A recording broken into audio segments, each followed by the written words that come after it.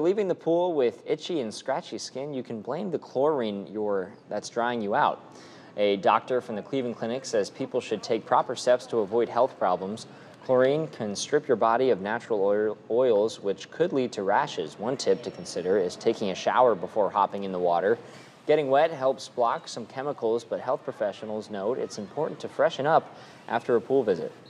And then moisturizing is really important. So you all that oil that you've just stripped off your skin, you want to put back on. So especially with products that have ceramides in them or alpha hydroxy acids, these are good products to put back on your skin to minimize the irritation and the dryness.